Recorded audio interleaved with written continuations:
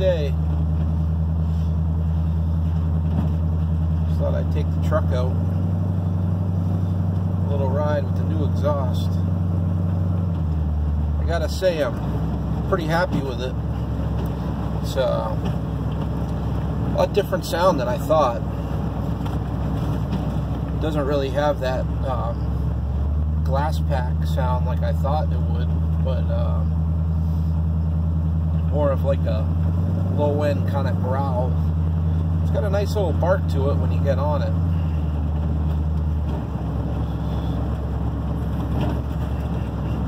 I gotta say, I was a little worried when I first uh, saw those mufflers.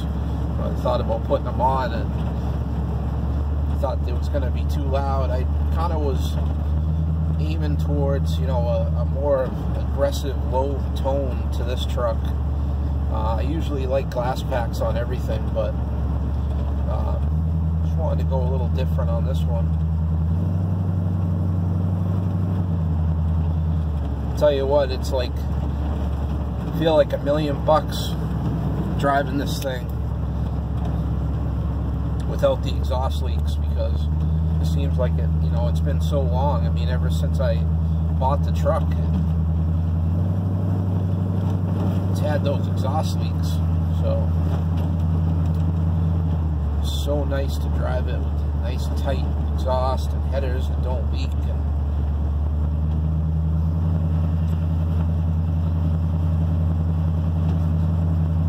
just got finished uh, smelling all the stuff burning off finally got up to temperature, burnt all that coating off, but it smelled the mufflers a little bit because they do have a fiberglass packing in them, so.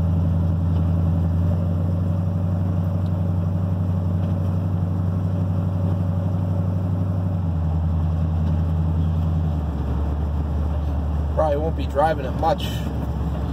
Um, supposed to get some pretty good snow tomorrow it's uh, New Year's Day. It's about I think it's about 3:30 in the afternoon.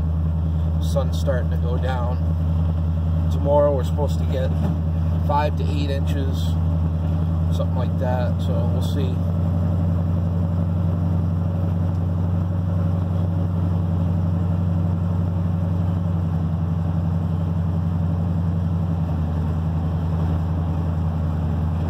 Up here in northern Maine.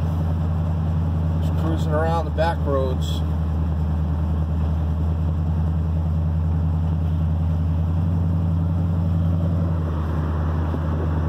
Town dump.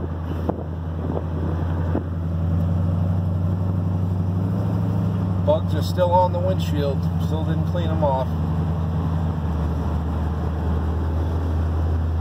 The old airport.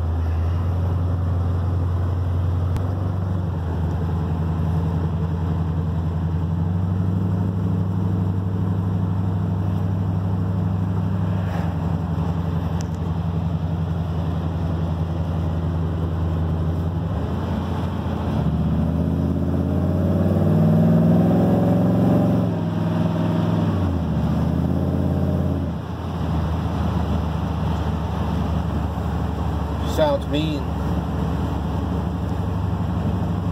Just like Dave said, make that sound like a real truck.